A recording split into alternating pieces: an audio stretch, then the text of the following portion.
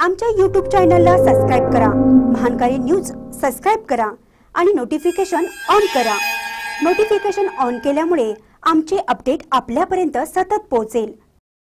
सैन्याबद्दलचा हाच काय अभिमान. आजी वडील आणि आता नातवालाही मारावे लागतात हेलपाटे. महसूल खात्याचा संतापजनक कारभार. औरवाड येथील एक जवान दुसऱ्या महायुद्धात देशाचं रक्षण करताना धारातीर्थी पडला.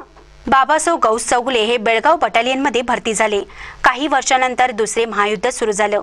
या महायुद्धात बाबासाहेब गौस चौगुले धारातीर्थ पडले. त्या काळातील निकषानुसार त्यांची पत्नी खुरश दबी बाबासाहेब चौगुले यांना प्रशासनानं राधानगरी तालुक्यातील दुर्गणवाड येथे चार एकर तीन गुंठे जमीन दिली. मात्र या जमिनीचा ताबा सरकारनं दिला नाही. त्यामुळे खुरश दबी यांनी खूप प्रयत्न केले आणि त्यांचं निधन झालं. त्यांच्या निधनानं त्यांचा मुलगा अमीर रमजान बाबासाहेब चौगुले यांनी जमिनीचा ताबा घेण्यासाठी आणि सातबारा नावावर नोंदवण्यासाठी हेलपाटे घातले. पण निष्पन्न काही झालं नाही. आता अमीर रमजान बाबासाहेब चौगुले यांचा नातू महम्मद अली चौगुले हा राधानगरी तालुक्यातील दुर्गणवाड गावात जमीन कायदेशीर नावावर व्हावी यासाठी हेलपाटे घालतोय. पण त्याला प्रतिसाद मिळत नाही.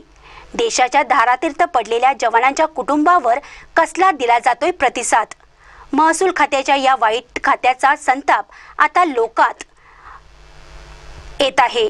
औरवाड्यातील त्यांच्या कुटुंबाला हक्क आणि अधिकार मिळवण्यासाठी आमदार उल्हास पाटील यांच्यात पक्षाचे आमदार प्रकाश आबिटकर आणि खासदार राजू शेट्टी यांनी पुढाकार घ्यावा. कोल्हापूरच्या जिल्हाधिकारी यांनी केवळ भाषणं आणि कागदपत्रात न गुंता जवानांच्या कुटुंबाला न्याय मिळावं असं काम करावं. देशाच्या धारातीर्थ पडलेल्या जवानांच्या कुटुंबाला कसला दिला जातोय प्रतिसाद? महसूल खात्याच्या या वाईट खात्याचा संताप आता लोकात येत आहे. औरवाड्यातील त्यांच्या कुटुंबाला हक्क आणि अधिकार मिळवण्यासाठी आमदार उल्हास पाटील यांच्या पक्षाचे आमदार प्रकाश आंबेडकर आणि खासदार राजू शेट्टी यांनी पुढाकार घ्यावा. कोल्हापूरच्या जिल्हाधिकारी यांनी केवळ भाषणं आणि कागदपत्रात न गुंता जवानांच्या कुटुंबाला न्याय मिळावं असं काम करावं.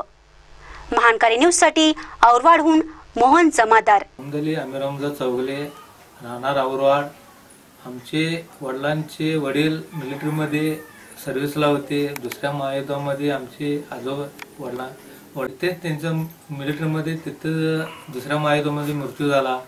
त्यानंतर तिनांनी ताळी या गावी एक चार एकर जमीन तिथे आमच्या आजीला मिळाली. आजीला मिळाल्यानंतर आम्ही लहान असताना त्यामुळे आम्हाला काही त्यातलं माहीत नव्हते. त्यामुळं आत्ता आम्हाला माहिती झाली त्यामुळं आम्ही तेव्हापासून आम्ही प्रयत्न करालोय तरी पण आम्हाला तिथं दाद घेणार.